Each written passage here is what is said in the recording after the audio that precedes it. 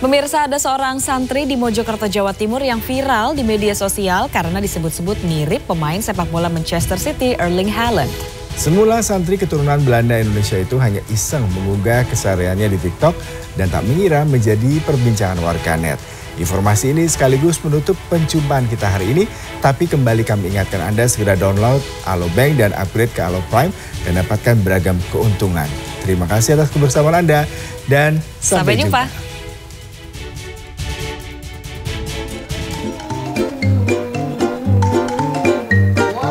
Ibnu Mukti Wijaya, pria 24 tahun ini viral di media sosial setelah sebuah akun TikTok mengunggah sejumlah video yang menampakkan sosok dirinya saat membaca solawat dengan diiringi musik hadrah atau banjari.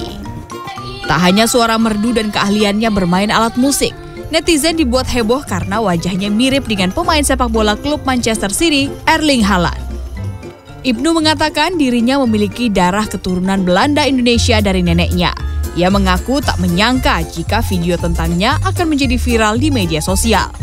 Ya semenjak viral kemarin itu, tiba-tiba saya tahu kok rame di medsos video saya itu katanya mirip Halan. Terus nyoba-nyoba saya searching-searching di Google.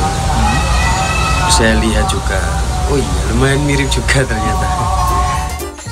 Ibnu sendiri tak mengenal sosok Erling Haaland yang disebut-sebut netizen mirip dengan dirinya.